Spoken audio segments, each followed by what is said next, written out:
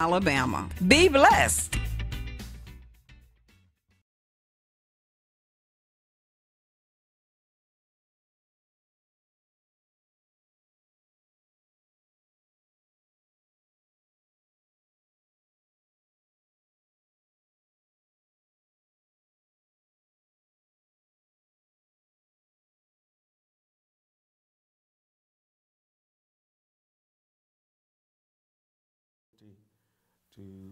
Um, share the word of the Lord on tonight.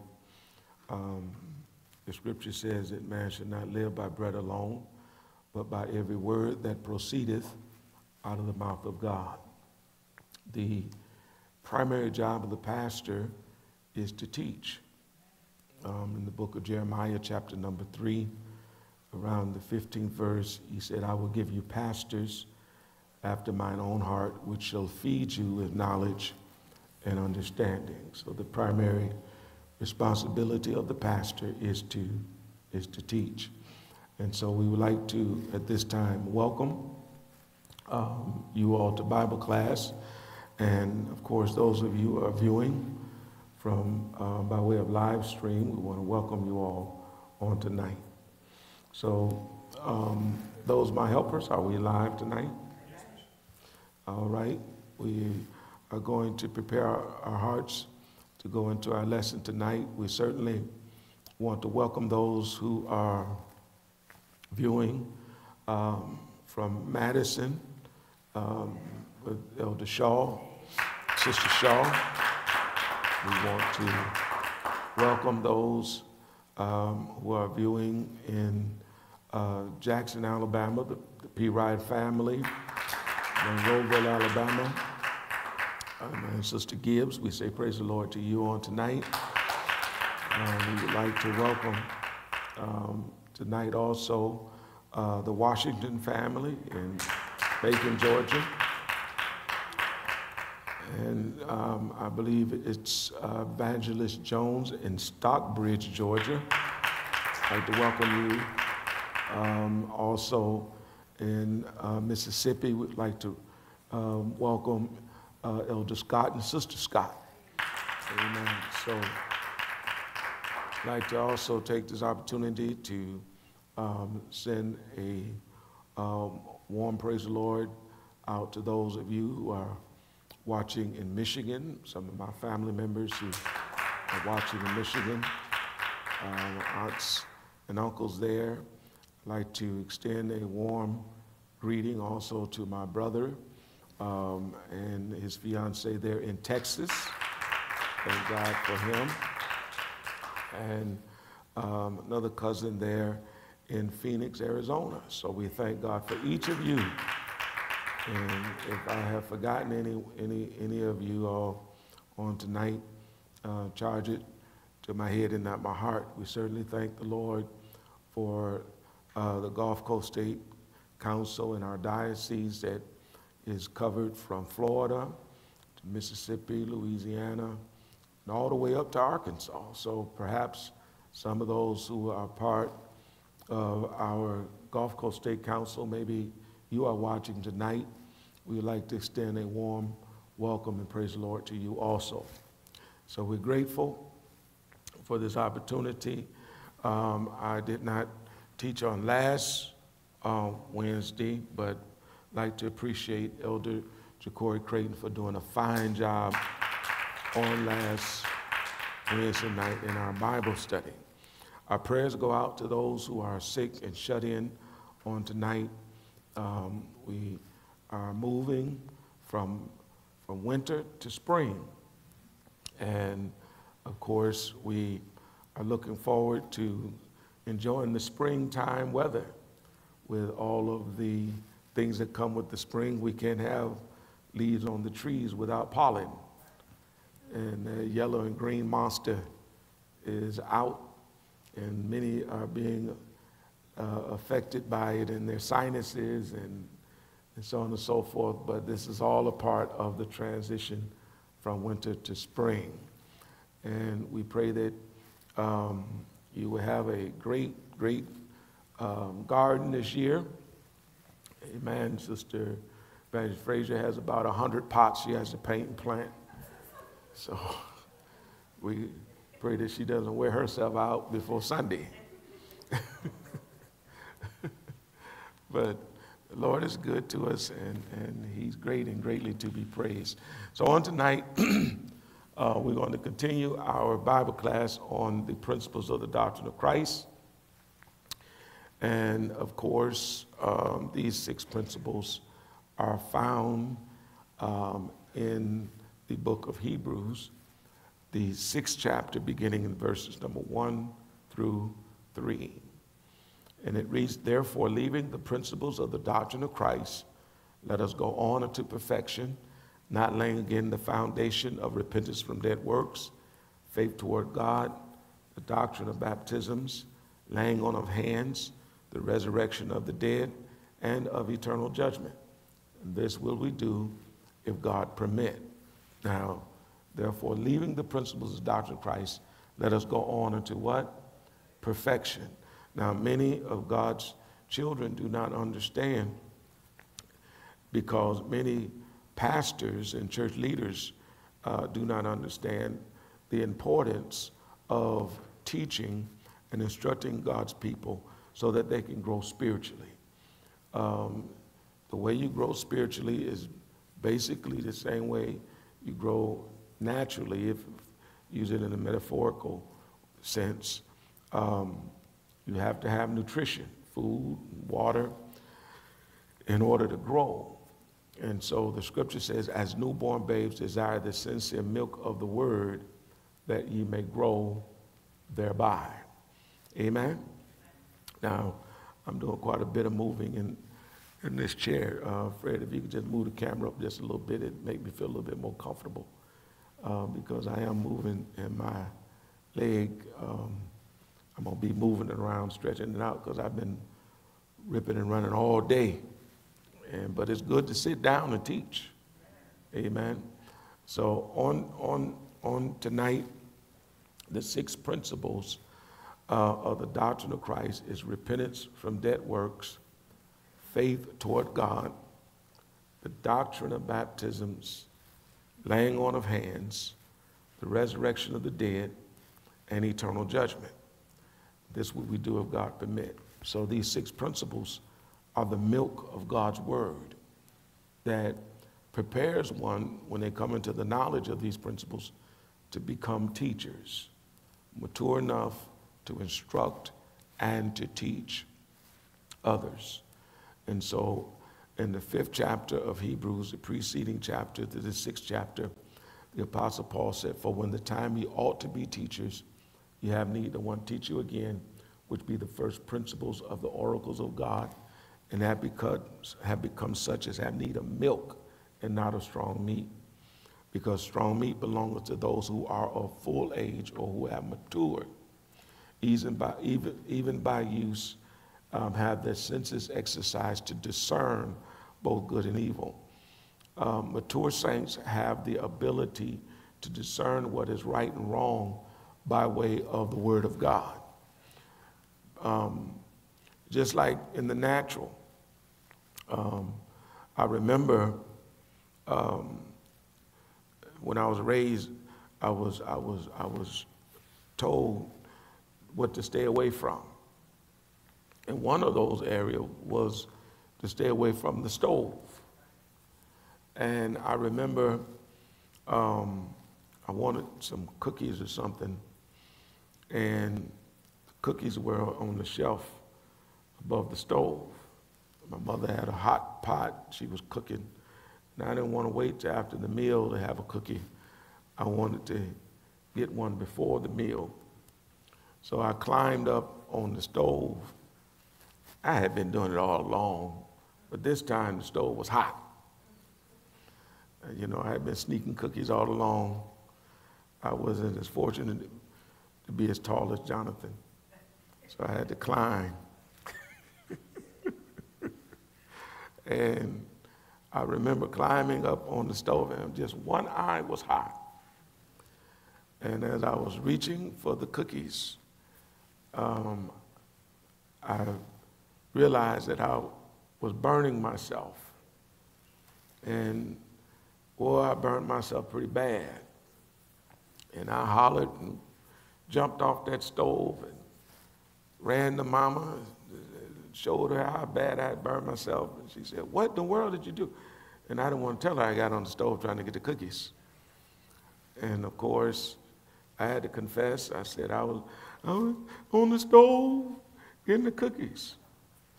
And she said, Oh, yeah, this time, that's why I told you stay off that stove. And of course, um, she put something on it, on the wound there, and put a bandage over it. And I still got a whooping. See, that, that's how you would, that's how they, they, they made sure, you know. but I was a child. And I, and I was, I was, I was very immature. Most cases, hard-headed, as they would say. And I had to learn some things. And, and I'm not the only one tonight. Some of y'all had to learn things the hard way too. Huh? You just had to, you just had to learn it the hard way. And, and they said, I told you so, and still disciplined you.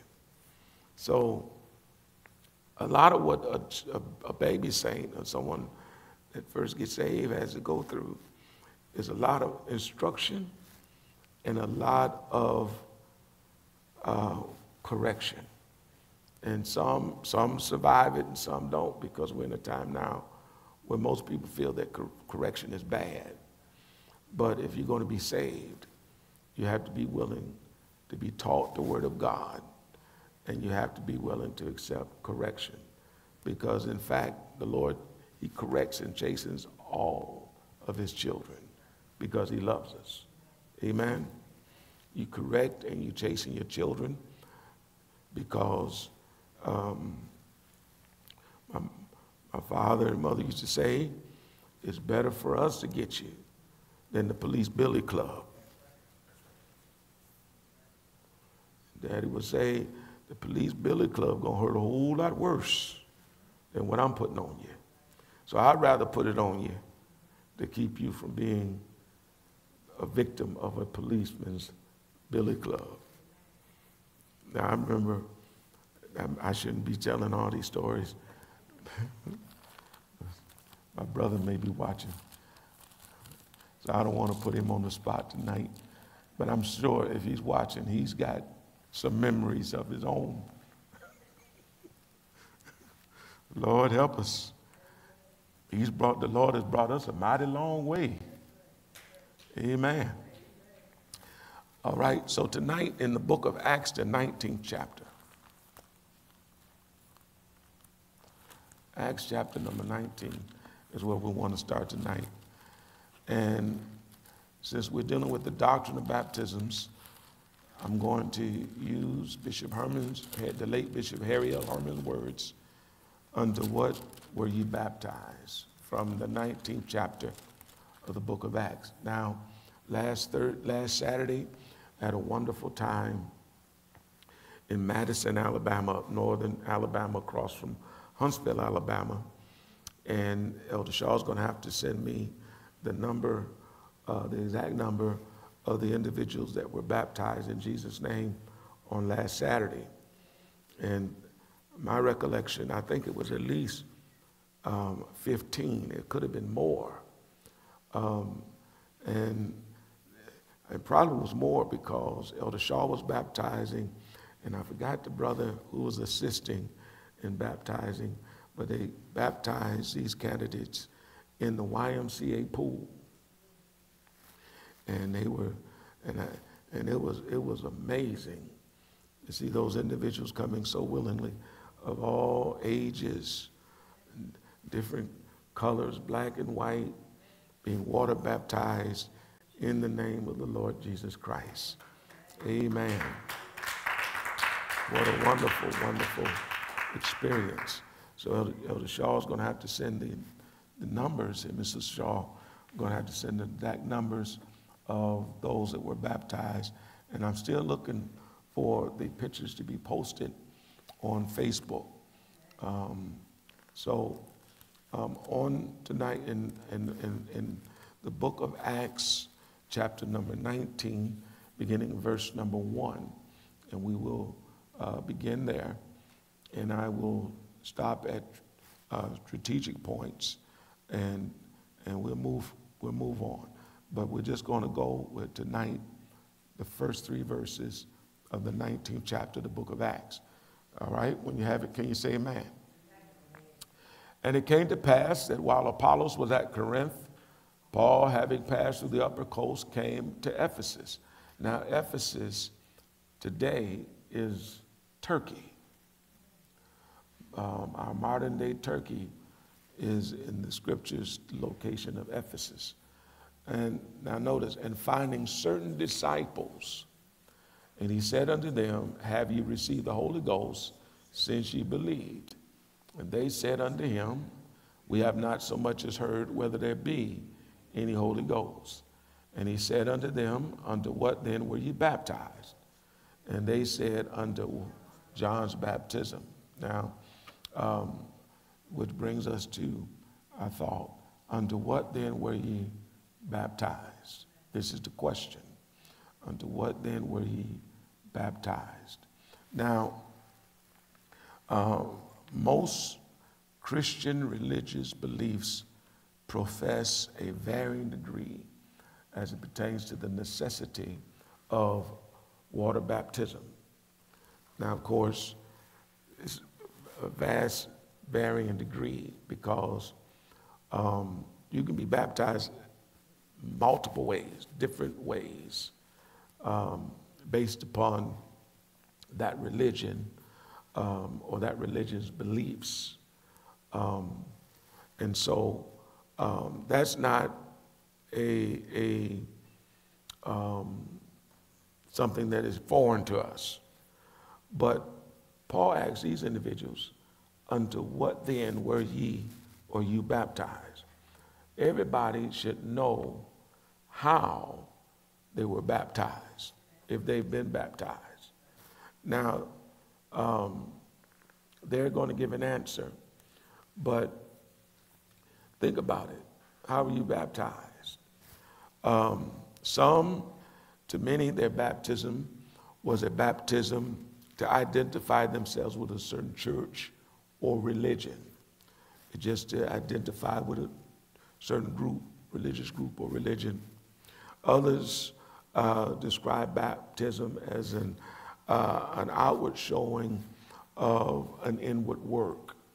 Um, so there's, there's various reasons why individuals are baptized. So um, some people um, do it because that's what their mother did and father did. So they follow the, the same pattern of baptism of, of the family. This is how um, grandma did it. This is how granddaddy did it. This is how mama did it. This is how daddy did it. So this is why I did it with no kind of consciousness of God or a, a, a consciousness of what the Lord is requiring of them, they just do it because that's what we do in our family. Um, some um, were baptized as children um, and, and, and, or as babies. You know, there's such thing, some religion, uh, particularly I think it's uh, Catholic, that believe in the baptism of infants. Um, then you have um, some small children that are baptized, um, and then, then uh, some adults um, as entrance into a certain church or a certain faith. Various different ways and various different reasons why people are baptized. Now, um, we have to understand that doing our best um, sometimes is not good enough. I did my best, so the Lord just has to, you know, sometimes our best isn't good enough. Um, um, if it was based upon our best, um, some of us never would have gotten out of high school. If it was just based upon us doing the best we can, uh, some of you would have never taken promotions on your job would never finish your degree work, your undergrad work. You, you understand what I'm saying? In other words, what goes beyond doing your best is meeting what is required. And we understand in every area, other area of our lives that we have to meet requirements.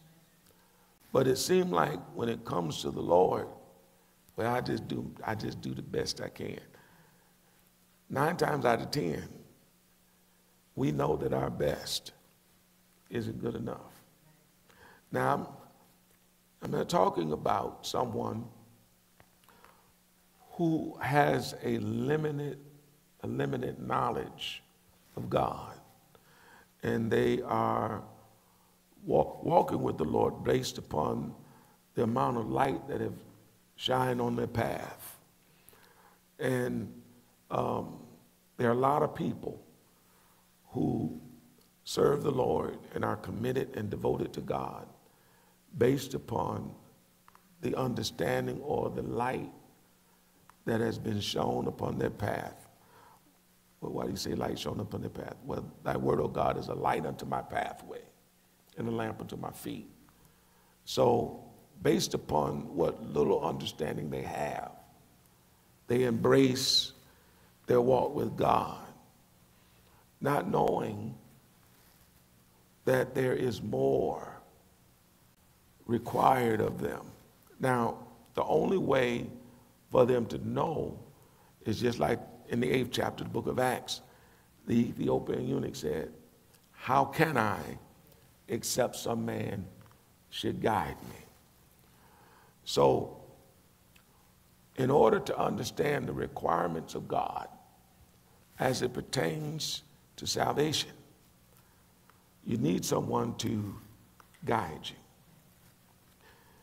that, that, is, that, that, that is in the light. Because you know the scripture says, the blind leadeth the blind. They all go to heaven together, right? They go into a ditch. Amen. Now, anybody ever crossed the main road like the Eastern Boulevard? That's a six lane road. You got three lanes going south. Wait a minute. Yeah, three lanes going south and three lanes going north. And are you going to let a blind person lead you across from one side of the Eastern Boulevard to the other? What if it's Ray Charles? He's a pretty good musician. He was a pretty good musician back in the day. Huh? Well, Ray Charles, we can't use him. He's gone. What about Stevie Wonder?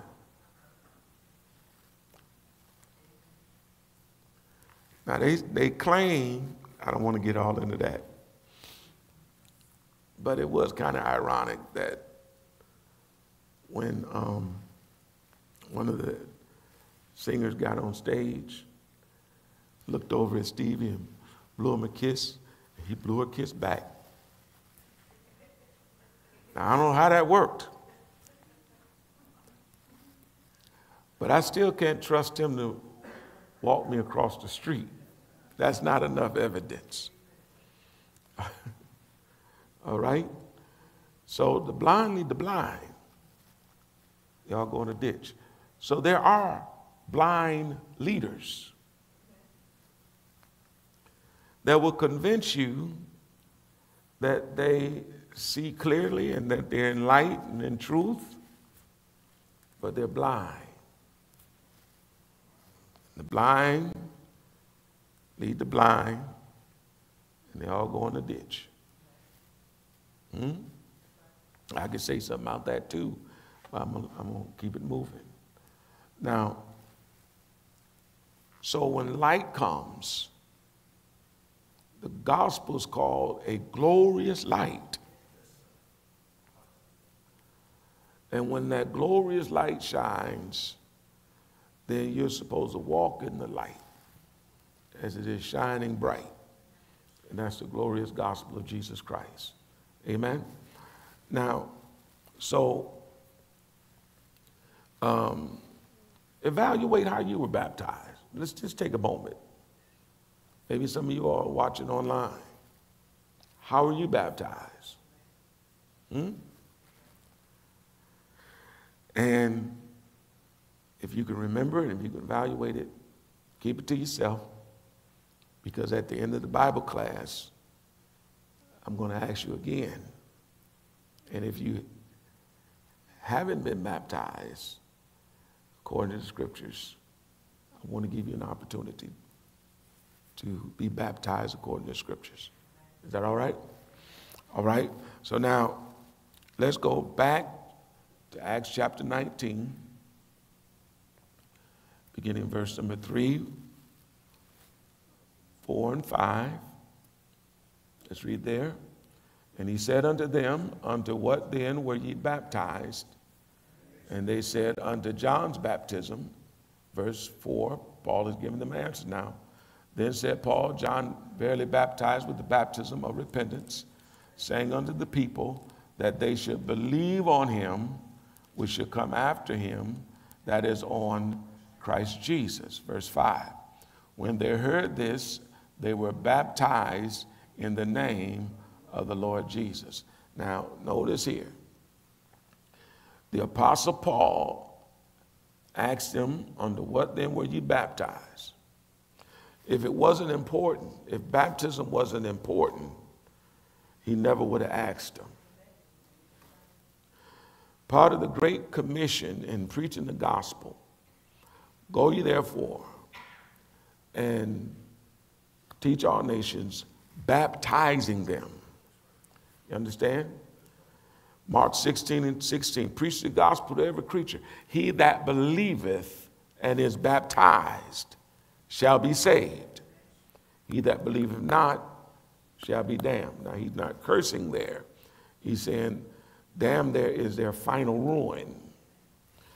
So, if it wasn't important, he never would have asked the question, unto what then were you baptized? And they had to give in a, a response. They said, under John's baptism. We were baptized by John the Baptist.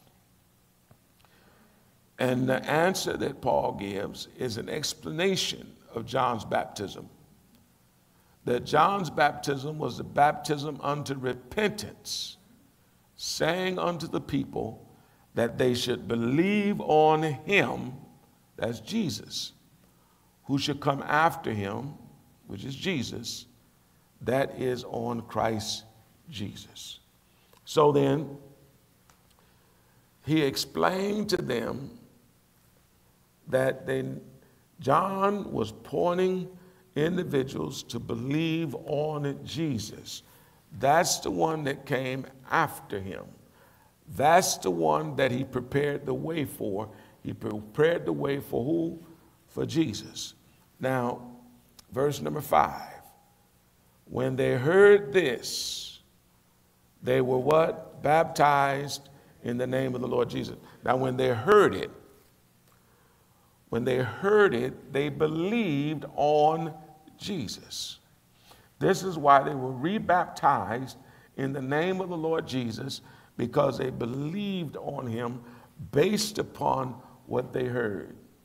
This is why in the book of, of Romans, the 10th chapter, the 17th verse says, So then faith cometh by hearing, and hearing by the word of God. Now, how do you get that kind of faith?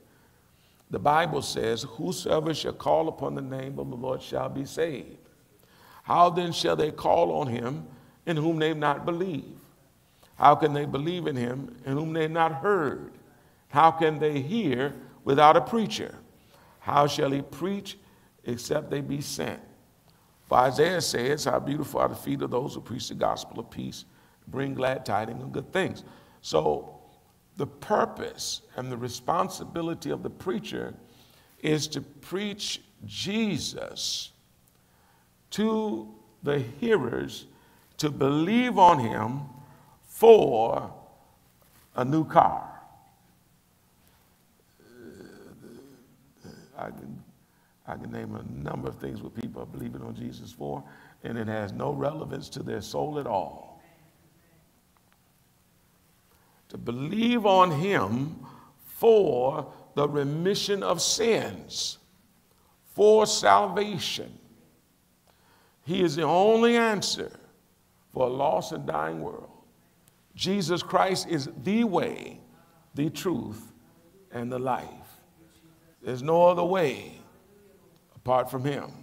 And how do you know that? You have to hear the word preached from the preacher, the sent preacher. Not just any preacher, but the sent preacher. Amen? And the Lord has, the sent preacher is going to tell you what the Lord said and how the Lord wants you to do it based upon the Holy Scriptures, not based upon their idea, not based upon their faults, but based upon the eternal Word of God. Amen? All right. So now um, um, they said uh, they were baptized in the name of the Lord because of what they heard. Now, if you evaluated how you were baptized, if you have not been baptized in the name of the Lord Jesus, because it's not all the same. It's not all the same. And I'm, I'm going to show you as we go on that it's not the same. In fact, um, it was several years ago, perhaps in the late 60s, early 70s, a census was taken, and we probably need to update that census. But a person can be baptized 27 different times. There were 27 different modes of baptism here in the United States alone. And 26 of those modes of baptism, the wrong baptisms. So it is, it is likely that if you have been baptized prior to hearing my voice, that you probably were not baptized based upon biblical baptism which is administered in the name of Jesus Christ. Um, and if that's the case, then we're going to help you tonight. Amen. All right. Now, um, if you notice um, the next verse, verse number six, and when Paul had laid his hands upon them, the Holy Ghost came on them, and they spake with tongues and prophesied. Now, first of all, I'm going to do this in reverse order. Prophesy. Prophecy in the scriptures, there is an anonym. Anonyms are words that sound the same, pronounced the same, but spelled differently. And they have different meanings. In the scriptures, prophecy is spelled P R O P R O P H E C Y. That means to tell of a future event or something that is coming in the future, to prophecy or prophesy. But then there is the word prophesy, P R O P H E S Y, which means to expound on the word of God or to preach or to expound the word. So they prophesied they expounded on the word after they were filled with the Holy Ghost. They began to expound on the word of God. I remember, and I talked to him today, I talked to Brother Vincent Parker today. He called me today. And he was the second person, I think, no, the third person, uh, maybe the fourth that we baptized in Jesus' name when I started the church back in 1995. It was Sister Sullins, little Jimmy, I think it was Sister Henrietta's daughter, little Jimmy, and Brother Vincent Parker. And I remember when we baptized Brother Vincent Parker that I, I said, Brother Parker, God wants to fill you with the Holy Ghost. We worked together at Russell's Corporation. I said, Lord, I want to fill you with the Holy Ghost. And so I had, we was in the old church. We had just a foyer in the sanctuary. And I had the, the, the, the four or five members we had then to, to go into the foyer while I worked with him. And so I don't know why I did that, but I had them in the foyer while I worked, prayed for him for him to receive the Holy Ghost. And so while I was praying for him, the Holy Ghost fell on him. He began to speak with other tongues. Spirit of God gave the utterance. Afterward, he began to expound on the scriptures. He began to quote scriptures and expound on the Word of God, just as these individuals did when they were filled with the Holy Ghost.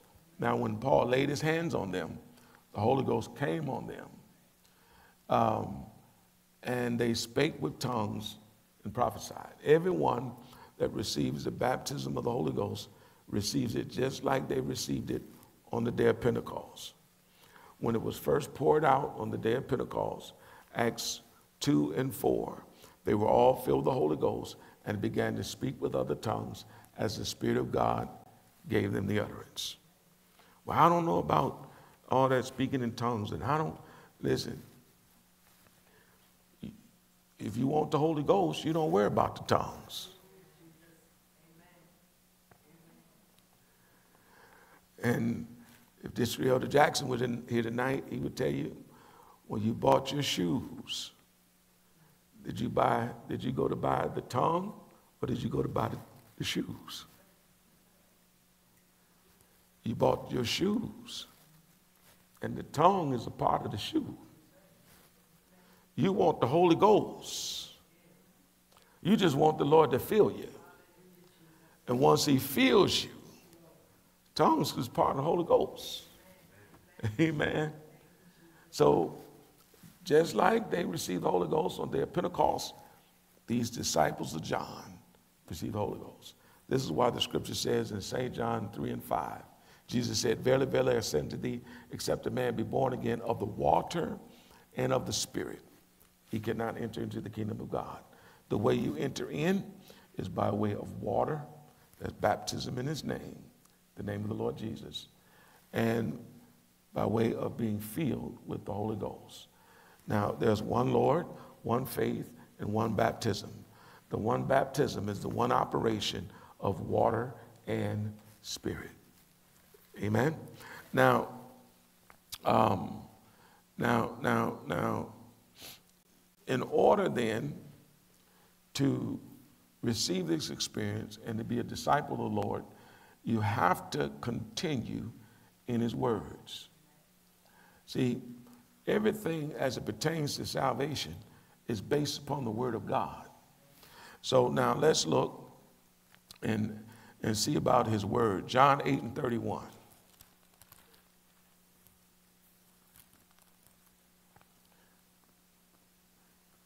All right? John 8 and 31. Um, and this is what truth does.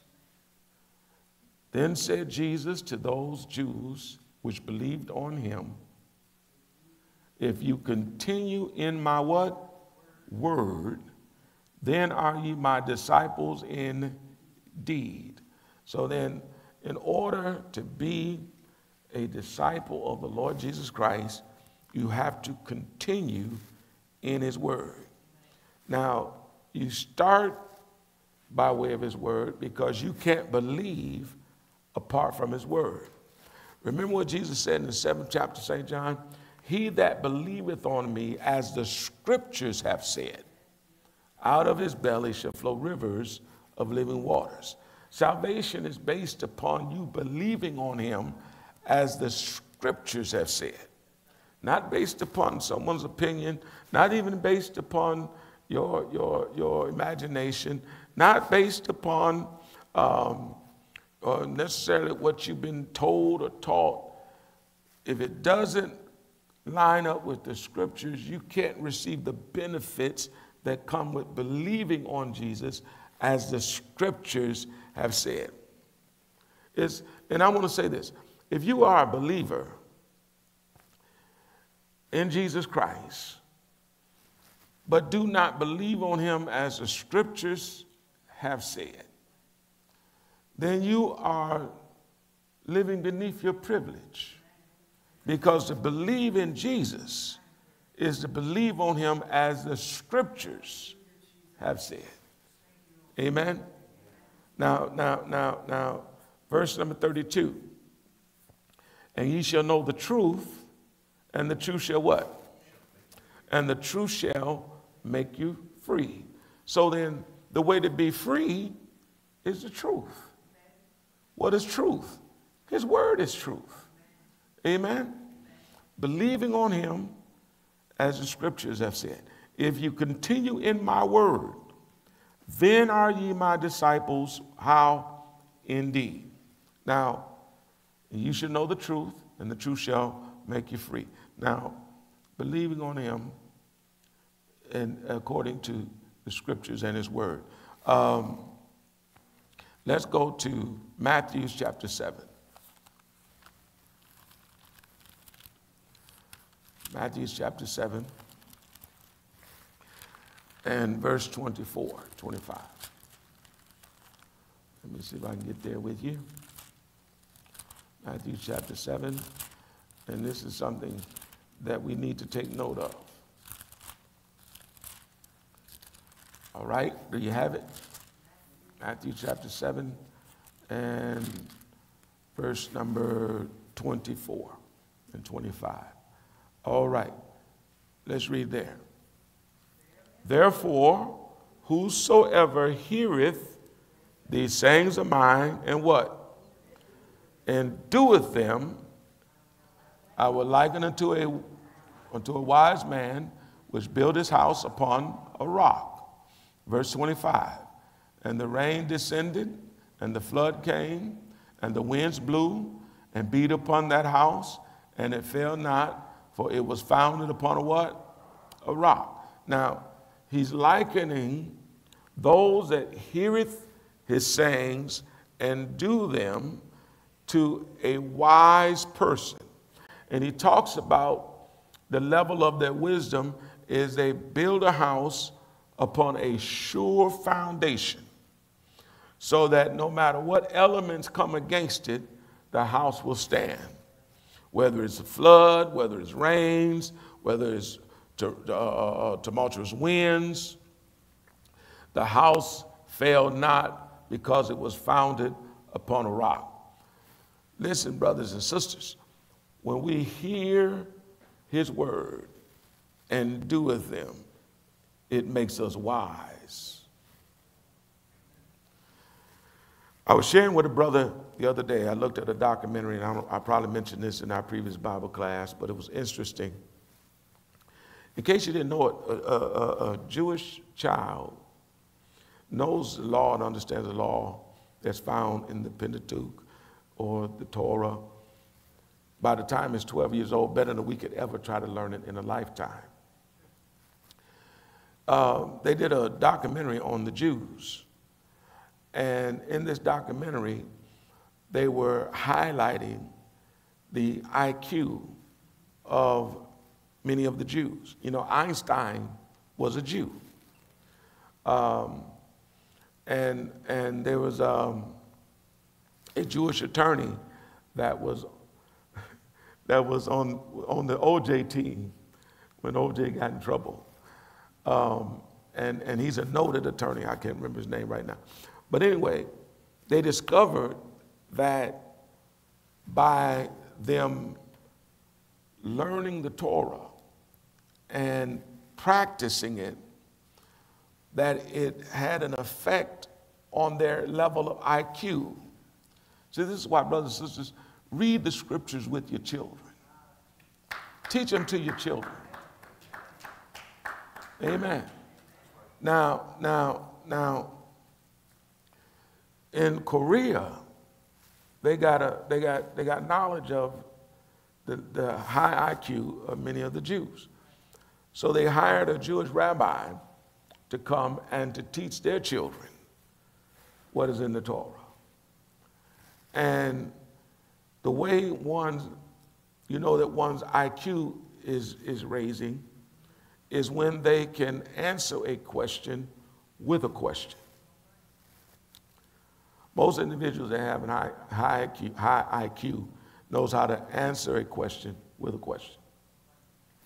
But to make a, just to simplify it, is the word of God is so alive until in Psalms, I think it's 19 or 119, it makes wise the simple. Hallelujah. Glory to God. And so, and so, and so, um, he that heareth these things of mine and doeth them. Many, many that have gotten, got saved, born again, got underneath being pastored. God did something for these individuals that they went from just meager positions to great and lofty positions in society. I've seen saints go from nothing to something, from a nobody to a somebody. Amen. And it's because of giving attention and attendance to the Word of God. The reason why many of you are exercising the brilliance that you are exercising, don't give it all, don't give all the credit to genetics. Some of it is because of the Word of God. Amen. It has raised your level of understanding. When you are a hearer and a doer of the word, it likens you as one that is wise. Now, on the other hand, on the contrary, verse 26 And everyone that heareth these sayings of mine and doeth them not shall be likened unto a what? A foolish man. And what happens? Which built his house upon the sand. And the rains descended, and the floods came, and the winds blew and beat upon the house, and it fell, and great was the fall of it. So then,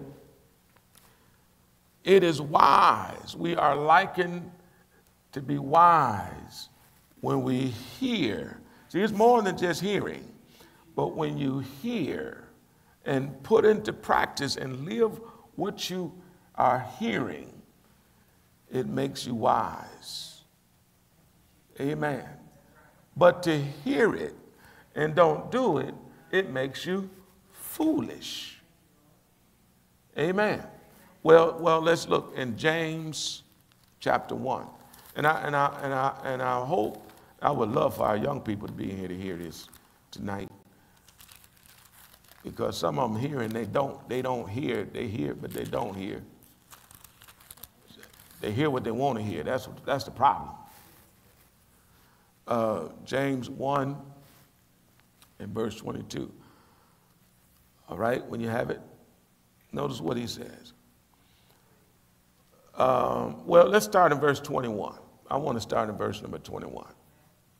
Wherefore, laying apart all filthiness and superfluity of naughtiness, and receive with meekness the engrafted word which is able to save your soul.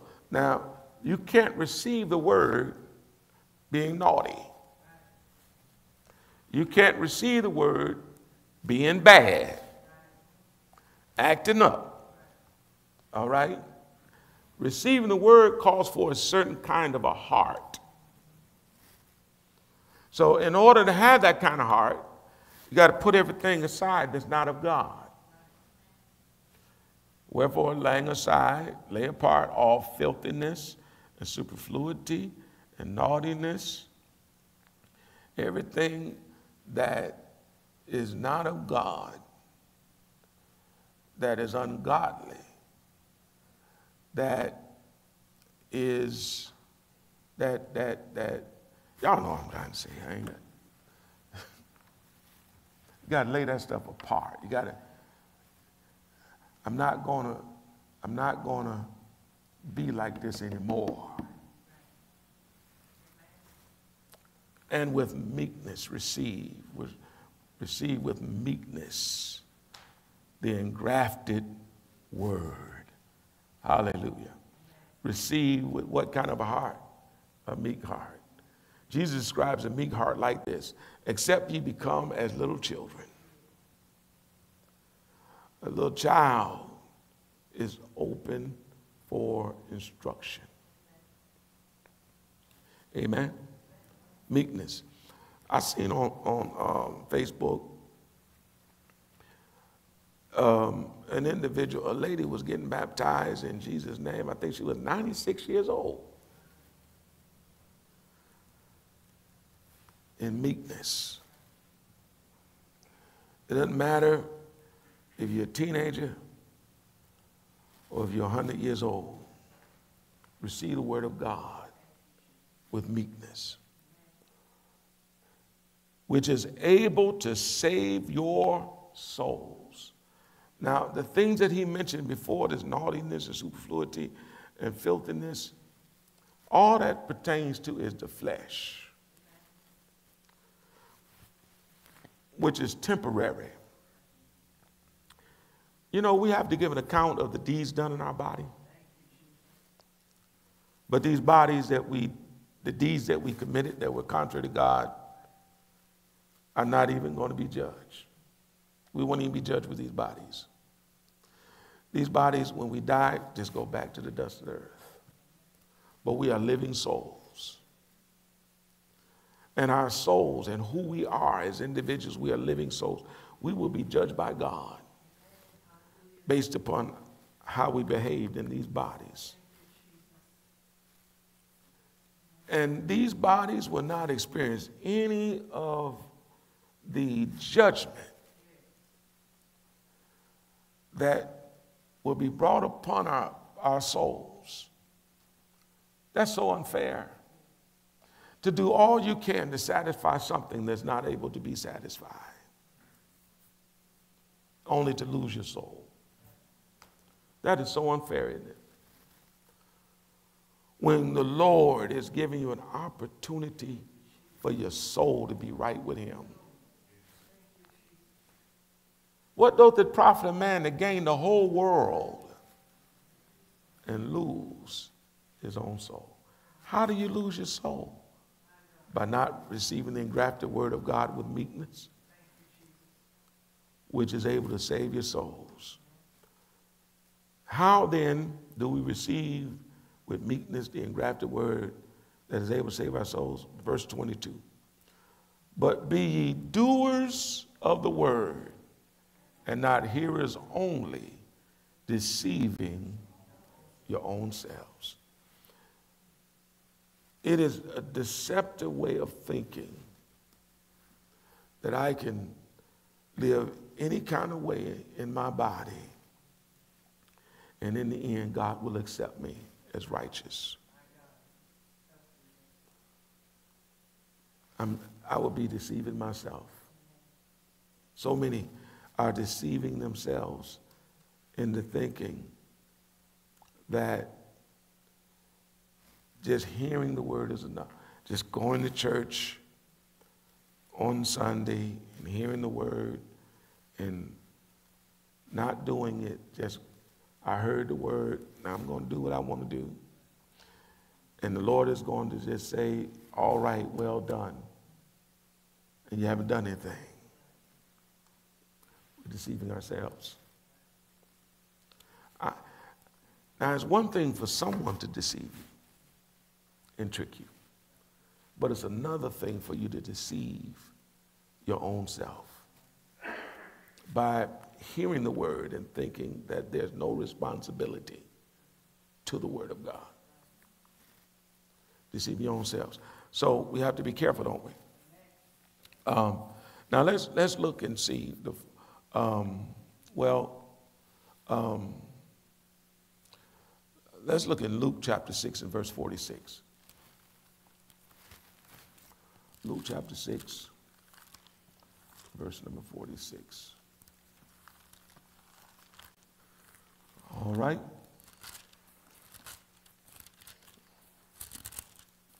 You have it?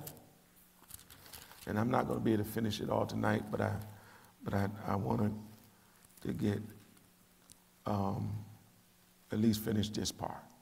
All right, Luke 6, verse number 46. Do you have it? All right, okay. Let's read there.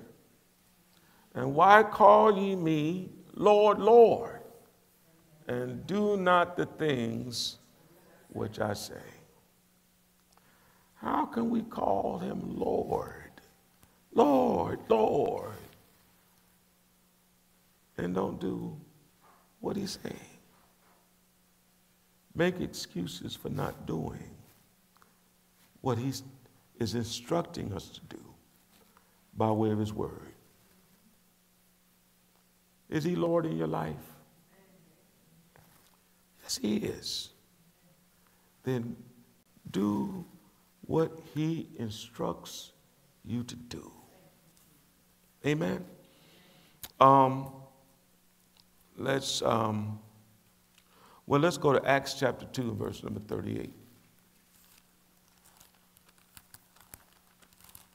Since, since, since we're right there, let's see what he is, what his, what his instruction is. Let's start in verse number um,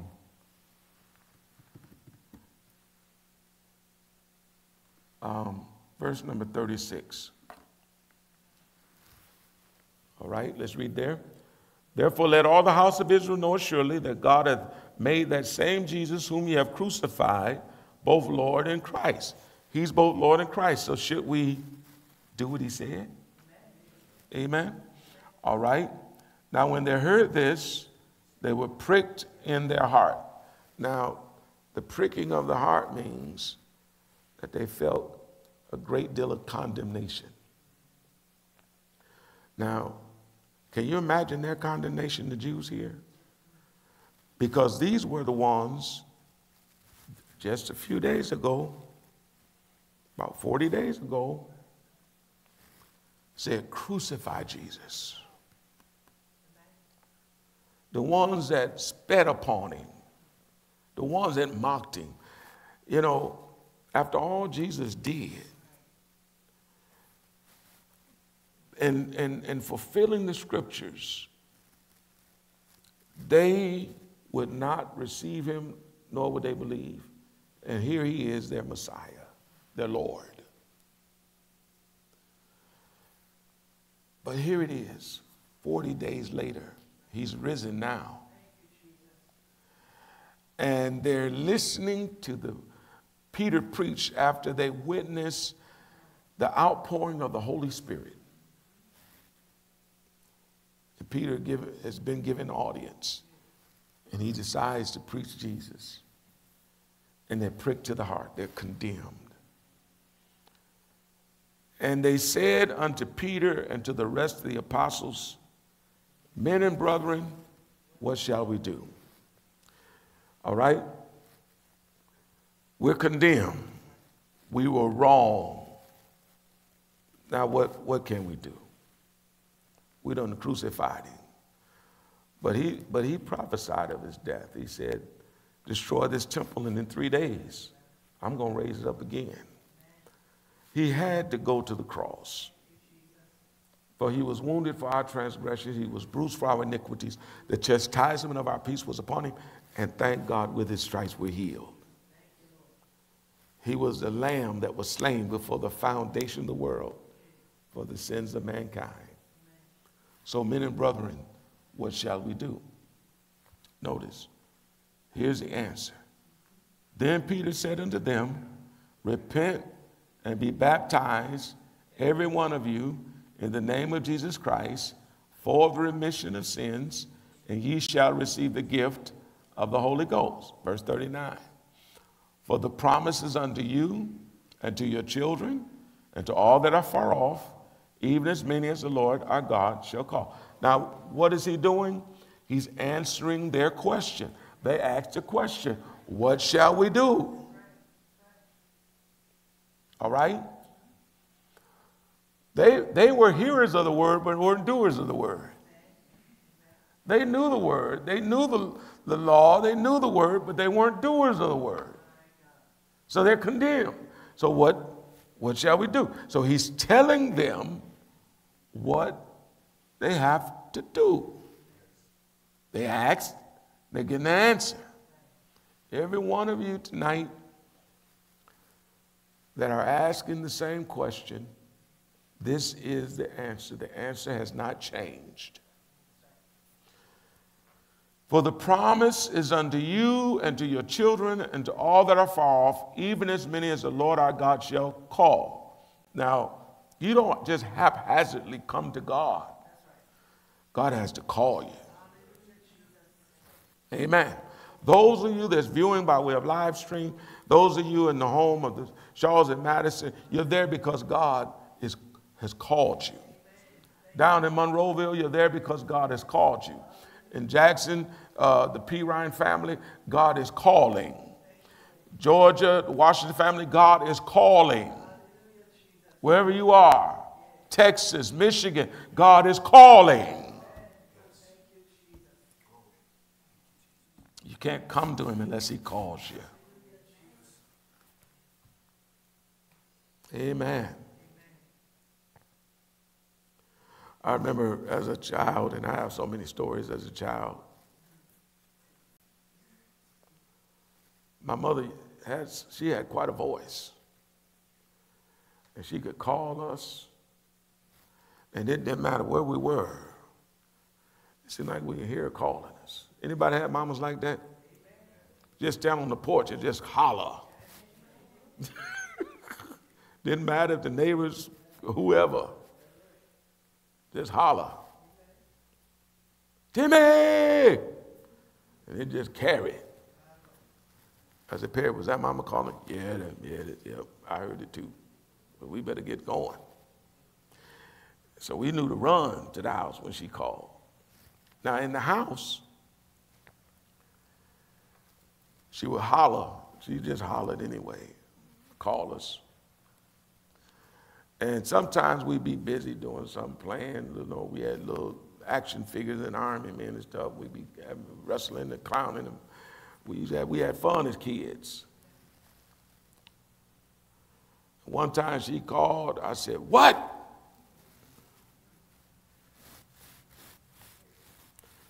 I survived.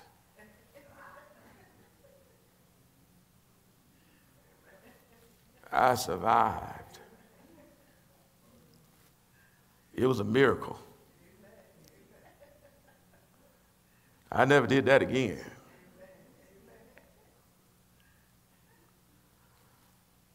She get to holler, huh? I couldn't get it right for nothing. I hear my father running up them stairs, almost ready just about killing himself to get to me. What is hall? well, you told me not to say what. I got in trouble for saying what. What is, Timmy, what is hall? That's how he used to do me. I said, I don't know what to say, Daddy. He said, say ma'am. And mama said, you don't you dare call me ma'am. So I'm really confused now.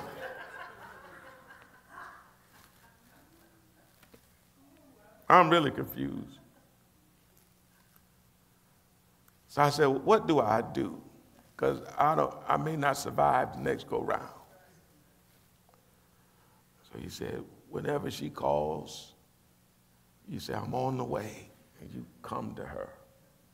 If I call, you say, I'm on my way, and you come. And don't be, don't be dragging. You come see what we want. That's what you do. But let us know you're on the way right?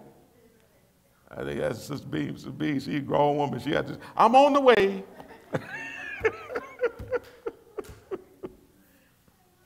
Amen. You understand? There's a certain response to God when He calls. Amen. Um, how should we escape if we neglect so great a salvation, which at the first was spoken of by the Lord, was confirmed on us by them that heard it?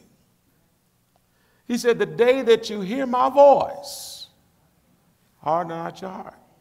What is his voice? It's his word. You can't, you, you and I, we can't tell the Lord, no, I ain't coming. What? Ah. When he calls us, he's calling us to him. As many as the Lord our God. Aren't you glad he called you? Out of all of the millions and billions of people in the world, he called you. Isn't that wonderful? Now, notice here their response. Now, notice, all right, uh, let's finish up. Um, um, notice verse number 40. And with many other words that he, that he testify and exhort, saying, Save yourselves from this untoward generation. God, and if the generation was not toward God then, back then, it certainly is not toward God now. Well, how do you save yourself from a generation that's not toward God? How do you save yourself from a generation that's going totally opposite of God? Verse number 41. Then they that gladly received his word. Now, and James said, with meekness. Peter here says, then they that gladly, Luke here says, then they that gladly received his word. What did they do?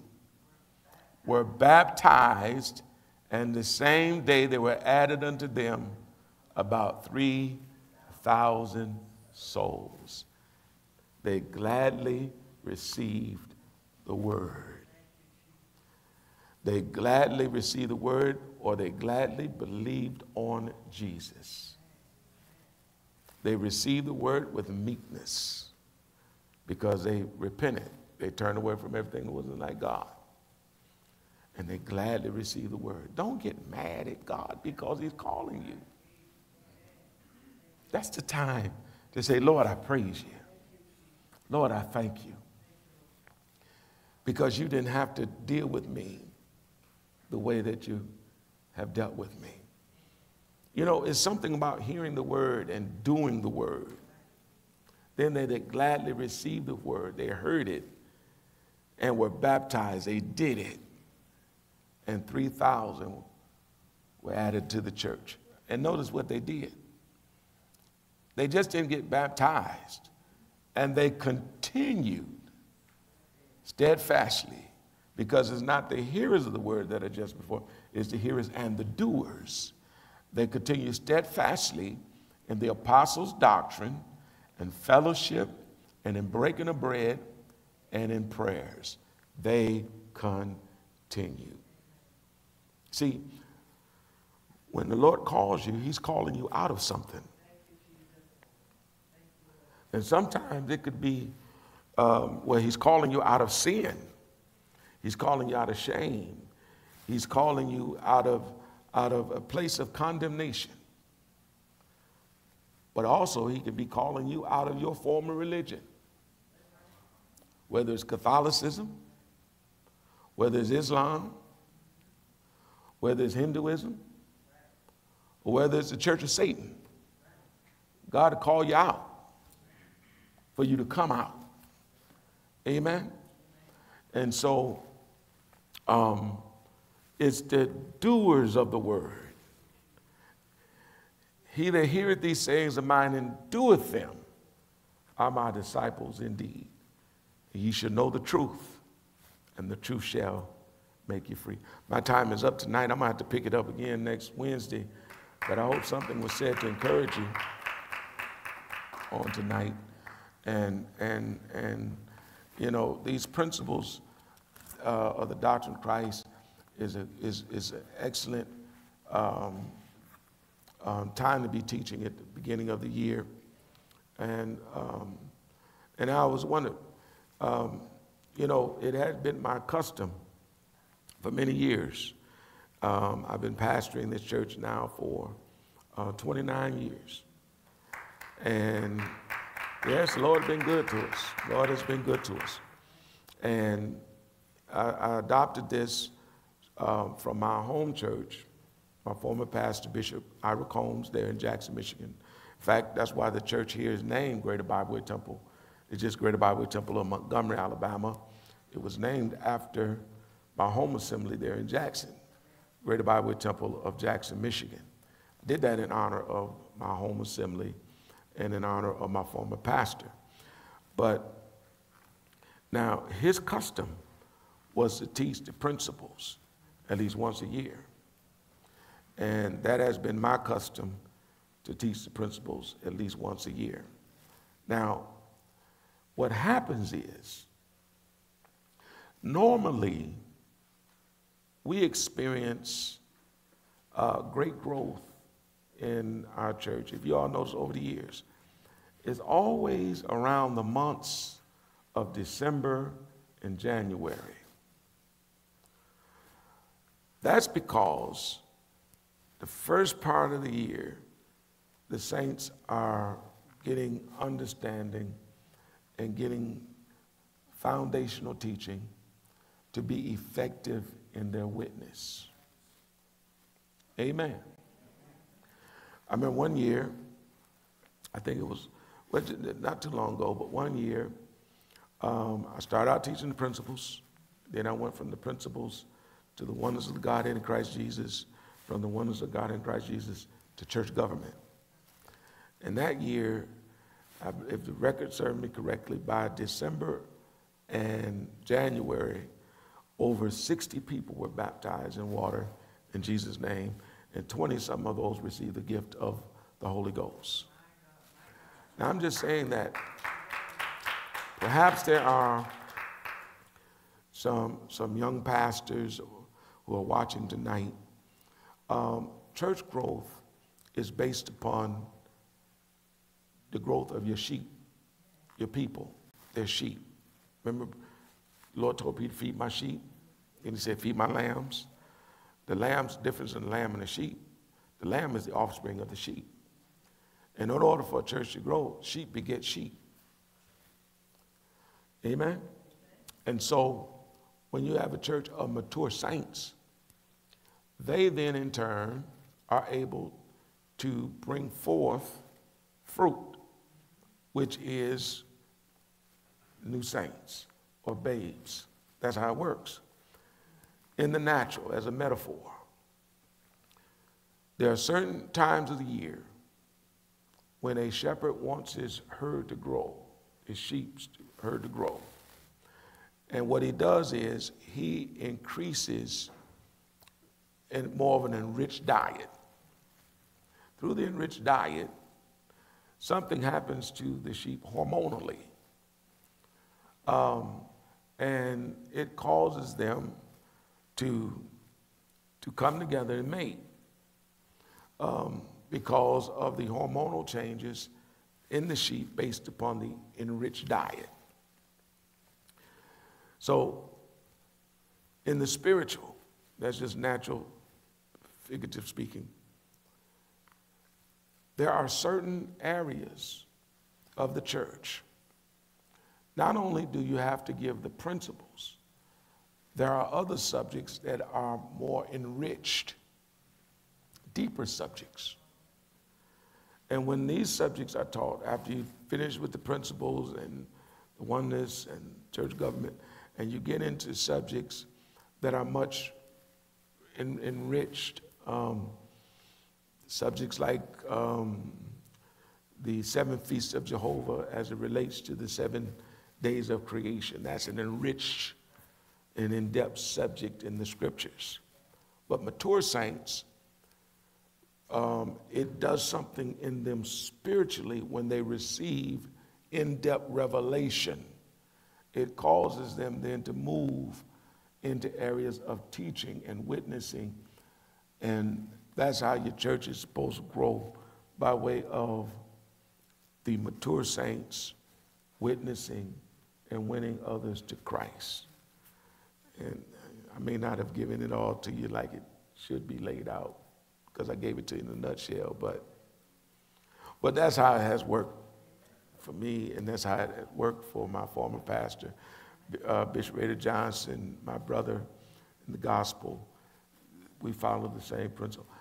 Um, our, our, our presiding bishop, Bishop um, Charles Johnson, great church, Greater Morning Star, same principle of enriched teaching.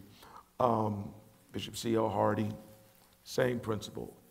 All that um, use these principles in enriched teaching, their churches are solidified.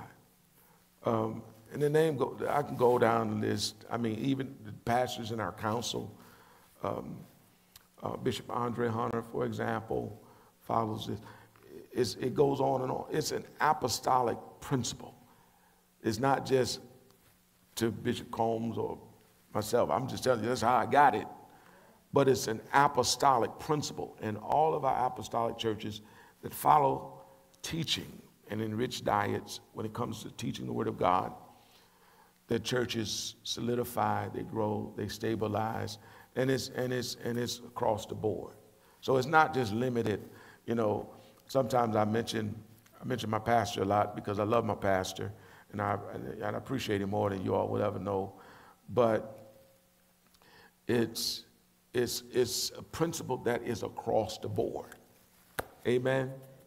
So I don't want to, I don't want it to seem like, you know, I'm something special.